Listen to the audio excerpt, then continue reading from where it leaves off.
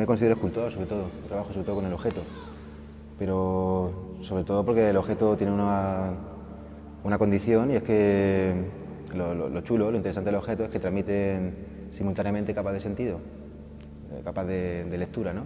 Si tú combinas objetos, que son símbolos también, y consigues que esas capas de sentido, esa forma de leerlos, que son simultáneas, ¿no? que se dan en la vista todo el tiempo, si consigues que hace que se solapen, al final lo, lo satura. De repente la imagen crece en potencia y en sinceridad. Después cuando, cuando yo encuentro eso ya paro de trabajar y el objeto se vuelve, se vuelve autónomo, ¿no? es como que se emancipa del autor.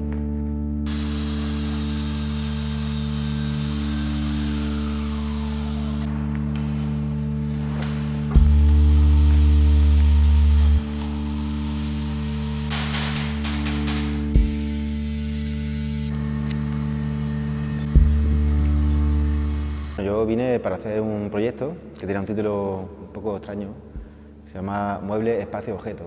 Entonces la idea era, tenía como dos vertientes de trabajo. Por un lado era estudiar los, muebles de los shakers, que son las comunidades AMIS preindustriales ¿no? que existían sobre todo en el siglo pasado, aunque todavía hay varias. Y la idea es hacer un rastreo de los muebles que, quedan, que son estas colecciones y museos, porque son muebles muy particulares, muy especiales. Tienen, para mí están como llenos de metafísica, son muebles muy sencillos, muy útiles, pero al mismo tiempo están llenos de pequeños vértigos, de asombro, de que hay cosas extrañas que no deberían estar ahí y que te hablan un poco también de los espacios dentro del, mueble, ¿no? los espacios dentro del espacio. Entonces, por un lado, esa era una vía de trabajo y por otro era recopilar objetos que iban encontrando en rastros, ¿no? en retos y cosas así de aquí.